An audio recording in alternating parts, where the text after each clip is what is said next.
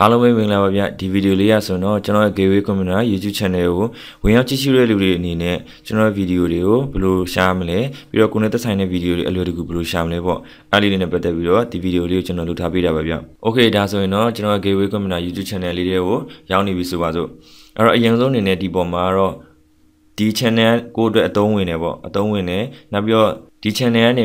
တင်ထားတင်လိုက်တဲ့ဗီဒီယိုဖိုင်တွေပေါ့နော်အများနဲ့တင်လိုက်တဲ့ဗီဒီယိုဖိုင်တွေကိုကသိချင်တယ်ပေါ့ဒါဆိုရင်ဘာလို့ထားလို့ရလဲဆိုတော့ဒီပေါ်မှာ subscribe ဆိုတဲ့ button လေးကျွန်တော်နှိပ်ထားလို့ရပါတယ်ဗျโอเคเนาะဒီအနီရောင် subscribe လေးကျွန်တော်နှိပ်ထားမယ်ပြီးတော့လို့ရှိရင်တော့ဒီ notification bell လေးနှိပ်မယ်ပေါ့နော်ဒီမှာ all ကိုကျွန်တော်ယူထားလို့ရှိရင်ဒီ channel တင်ထားသမျှတင်လိုက်တဲ့ video file မှန်သမျှကိုကျွန်တော်ရဲ့ဖုန်းဖြစ်ဖြစ်ကွန်ပျူတာမှာဖြစ်ဖြစ်ပေါ့နော်လာပြီးတော့ဒီ notice ဆိုတဲ့နေရာလေးမှာလာပြီးပြပေးပါတယ်ဗျာနော်အဲ့တော့ဖုန်းအသုံးပြုတဲ့လူတွေအနေနဲ့ကကြောက်လေဖုန်းမှာသူက notice လာပြပေးပါတယ်နော်โอเ คဒါဆိုရင်တော့ဒီ channel ကနေပြီးတော့မှတင်ထားပြီးတဲ့ video file တွေကိုအဲတင်လိုက်တဲ့ video file အသစ်တိုင်းပေါ့နော်အ noti ရယူခြင်းနဲ့ဆိုရင်တော့ဒီမှာကျွန်တော် subscribe နဲ့ဒီ noti bell လေးကျွန်တော်နှိပ်ထားပေးခဲ့လို့ရပါတယ်ဗျနောက်ပြီးတော့ဒီမှာဆိုရင်ကျွန်တော်ပြပြမယ်ဒီ home ပေါ့နော် home မှာဆိုရင်ကျွန်တော်ဘာတွေတင်ထားလဲဆိုတော့ဒီမှာ playlist ဆိုတာထည့်ထားပြီးရနော် playlist ဆိုတာထည့်ထားပြီးရနောက်ပြီးတော့ဒီ upload ဆိုတာထည့်ထားပြီးတယ်ဗျအဲ့တော့ဒီကောင်ကြီးကဘာဒီဘယ်လို လုပ်ထားပြီးလဲဆိုတော့ဥပမာ playlist ကကြတော့ဒီက playlist နဲ့အတူတူပါပဲဗျဟုတ်ပြီနော်ဒါကိုကျွန်တော်ပြီးတော့ပြပြပေးမယ်နောက်တစ်ခုဒီမှာ upload upload ရဲ့အကြောင်းကကြတော့ဒီမှာဘာပြောရလဲဆိုတော့ကျွန်တော်တင်လိုက်တဲ့ video file တွေနောက်ဆုံးနောက်ဆုံးတင်လိုက်တဲ့ video file တွေသူကဒီနေ့မှာလာပြပေးတာပါဗျအခုလက်ရှိဆိုကျွန်တော်နောက်ဆုံးတင်ထားတာက A+ နဲ့ပတ်သက်ပြီးတော့ဒီပထမဆုံးတင်ခဲ့တာပေါ့နော်ဒါကကျွန်တော်တင်လိုက်တာဒီမှာ15 hour ပဲရှိသေးတယ်သူရဲ့ရှေ့မှာကျွန်တော်တင်ခဲ့တာကဒီမှာဒီ PowerPoint နဲ့ပတ်သက်တာလေးပေါ့ဟုတ်ပြီနော်နောက်တစ်ခုကကျွန်တော်သူရဲ့ရှေ့မှာဆိုရင် ဒီ Microsoft နဲ့ပတ်သက်တာလေးကျွန်တော်တင်ထားတယ်ပေါ့အဲ့တော့ဒီမှာဒီ play ဒီ upload ရဲ့နေရာမှာသူကကိုနောက်ဆုံးနောက်ဆုံးတင်ခဲ့တယ်ကျွန်တော်နောက်ဆုံးနောက်ဆုံးတင်ခဲ့တဲ့ video file ကိုလာပြီးတော့ပြပေးထားပါဘောနော်အဲ့တော့ဒီ channel ကနောက်ဆုံးပါတင်ထားလဲဆိုရင်ကြည့်ကျင်နေဆိုရင်ဒီ upload ဆိုတဲ့နေရာကနေလာကြည့်လို့ရပါတယ်ဗျနောက်တစ်ခုကကျတော့ဒီမှာကျွန်တော် video ပေါ့နော် video ဆိုတော့ tab ထည့်သွားမယ်အဲ့ video tab ထဲမှာဆိုရင်တော့သူက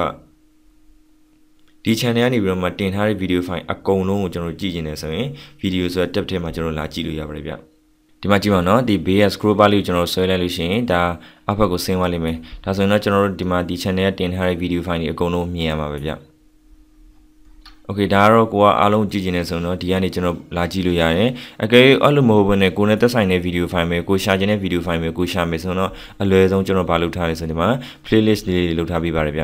အဲ့တော့ဒီ playlist တွေကိုဝင်မှာဒီ playlist ထဲမှာဆိုရင်တော့ဘာရှိမလဲဆိုရင်အခုဒီမှာ created playlist ပေါ့နော်ဒါကျွန်တော်လုပ်ပြီးထားတဲ့ playlist တွေပါဗျာဒီမှာဆိုရင်ကျွန်တော် A+ နဲ့ပတ်သက်တဲ့ tutorial တွေရှိမယ်နောက်ပြီးတော့ PowerPoint tutorial တွေရှိမယ်နောက်ပြီးတော့ဒီမှာ general knowledge ပေါ့နော်နောက်တစ်ခုဒီမှာ Microsoft နဲ့သက်ဆိုင်တာတွေရှိမယ် Photoshop မှာမှသူက Photoshop အခြေခံနဲ့ဒီ Photoshop လက်တွေ့ဆိုင်သုံးဓာတ်ပုံပြင်နည်းပေါ့နော်ဒီဇိုင်းဆွဲနည်းဒီဟာလေးဆိုပြီးတော့ကျွန်တော်ခွဲထားပေးတာရှိပါတယ်ဗျအဲ့တော့ကိုကဒီ playlist တွေဝင်တဲ့အခါကျတော့ ကိုနဲ့သက်ဆိုင်တဲ့ဟာကိုကျွန်တော်တို့ကအလွယ်တကူရှားလို့ရတယ်ဗျာအဲ့လိုပြောချင်တာဆိုတော့ဒါလေးကိုဒီမှာကြည့်မယ်ဆိုရင်ဥပမာကျွန်တော်ကဆိုပါစို့ဒီ Microsoft နဲ့ပတ်သက်တာကိုကျွန်တော်ကြည့်နေတယ်ပေါ့ဒါဆိုရင်ဒီမှာ view playlist ဆိုတော့ကျွန်တော်ဝင်လို့ရပါတယ်ဗျဖုန်းမှာလည်းအဲ့တိုင်းပါပဲเนาะဒါကွန်ပျူတာမှာလည်းအဲ့တိုင်းပါပဲဗျဒါဒီ view playlist လေးကိုတစ်ချက်နှိပ်မယ်နော်နှိပ်လိုက်လို့ရှိရင်ကျွန်တော်တို့ဒီမှာကျွန်တော်ဒီမှာဘယ်လိုစီထားပေးလဲဆိုတော့ကျွန်တော်ပထမဆုံးတင်ငန်းတင်ငန်းစာကိုတော့အောက်ဘက်မှာထားပြီးတော့ဒီမှာနောက်ဆုံးတင်ထားတဲ့တင်ငန်းစာကိုအပေါ်ဘက်ကိုကျွန်တော်တင်ထားပေးတယ်ပေါ့ okay ဒါဆိုရင်တော့ဒီ channel ကနေပြီးတော့မှဒီ playlist တွေကိုကျွန်တော်ထည့်ထားပြီးတော့နောက်ဆုံးသင်ခန်းစာကိုဒီမှာအပေါ်ကနေတန်းပြီးတော့မြင်ရမှာပေါ့ဗျာပုံမှန်အဖြစ်တော့သူကတော့ဘယ်ကနေစမလဲဆိုဒီကနေတက်ကနေပြီးတော့မှအောက်ဆုံးနောက်ဆုံးတင်ခဲ့တဲ့နေရာအောက်ဘက်ကိုရောက်နေမှာပေါ့အဲ့လိုမဟုတ်ဘဲနဲ့ဒီ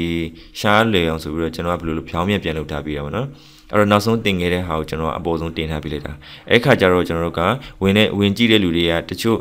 အရင်တော့ဆိုရင်တော့ဒါ ရင်တော့တင်ခဲ့တဲ့ဟာဆိုရင်ဒါဒါကြည့်ပြီးသားဖြစ်နေမယ်ပေါ့ဆိုတော့ဒါအသေးသေးလေးတွေကြည့်နေတယ်ဆိုရင်ဒါနောက်ဆုံးတင်ခဲ့တဲ့ဟာကိုကျွန်တော်အဲ့လိုလေးအလွယ်ဖြစ်အောင်ပေါ့နော်ဒါအပေါ်လေးကျွန်တော်တင်ထားပြီးရပါဗျကျန်တဲ့ channel တွေလည်းအဲ့တိုင်းပါပဲเนาะဒါကျွန်တော်အကုန်လုံးအဲ့တိုင်းပဲလုပ်ထားပြီးပါတယ်เนาะဒါ Photoshop နဲ့ပတ်သက်တာကြည့်မယ်ဆိုရင် Photoshop ဆိုအခုဒီမှာ video file ပေါင်း40ကျော်သွားပြီပေါ့နော်အများကြီးရှိပါတယ်အခုဒီမှာလက်ရှိကတော့ကျွန်တော်ဒီမှာတင်ထားလက်ရှိတင်နေတာကဘာကြီးတင်လဲဆိုတော့ဒီမှာ PowerPoint တင်နေပါတယ်ဗျ ပြီးတော့နောက်ပိုင်းတင်ကန်းတွေအများကြီးပဲเนาะ video edit တွေလာမယ် InDesign တွေလာမယ်ပေါ့နော်။ Okay ဒါဆိုရင်တော့ကျွန်တော် YouTube channel လေးကိုဝင်ပြီးတော့မှ video file လေးတွေဘယ်လိုရှာမလဲဆိုတာလေးကိုတည်သွားမယ်လို့ထင်ပါတယ်။ကျေးဇူးပါ။